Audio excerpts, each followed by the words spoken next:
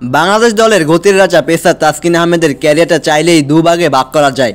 প্রথম ভাগটা অভিষেকের পর থেকে দুই হাজার সতেরো আর পরেরটা দুই হাজার একুশ সাল থেকে বর্তমানে তাসকিন। মাঝের বছর তিনেক সময় কঠিন পার করেছেন এই পেসার। এই সময়ে দলে জায়গা হারালেও নিজের ওপর আত্মবিশ্বাস ছিল তার। আর এই কারণেই আবারও দলে ফিরতে পেরেছেন এমনটাই মনে করেন তাসকিন আহমেদ। ক্যারিয়ারের সামনের দিনগুলোতেও এটাতে বিশ্বাস রাখতে চান তিনি। অভিষেকে গতির ঝড় তোলা তাসকিন আহমেদ সময়ের সঙ্গে চোট আর ফিটনেসের কারণে দাঁড় হারাতে বসেছিলেন। এরই ধারাবাহিকতায় দুই হাজার সতেরো সালের শেষের দিকে ছিটকে যান জাতীয় দল থেকে। দল থেকে বাদ পড়ার পরও দমে যাননি তিনি। বরং নিজেকে নতুন করে গড়েছেন। ফিটনেসের উন্নতির পাশাপাশি বোলিংয়েও গতি বাড়িয়েছেন। আর তাতে দীর্ঘ সাড়ে তিন বছর পর দু হাজার একুশ সালের জানুয়ারিতে আবারও ওয়ানডে ক্রিকেটে ফিরে নিজেকে নতুন রূপে চিনিয়েছেন এই ঢাকা এক্সপ্রেস। এরপর টেস্ট আর টি টোয়েন্টিতেও ধারাবাহিক হয়েছেন তিনি।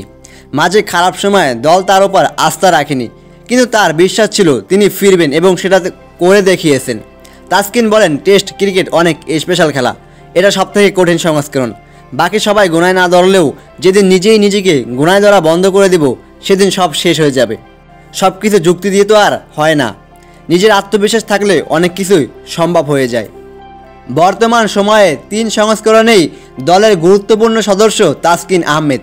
দুই বলের ক্রিকেটেই লম্বা সময় দলকে সার্ভিস দিতে চান আঠাশ বছর বয়সী এই পেসার। তবে বোর্ড যদি তার খেলার ব্যাপারে কোনো সিদ্ধান্ত নেয়, তাহলে সেটাও মেনে নিতে রাজি এই ডানহাতি পেসার।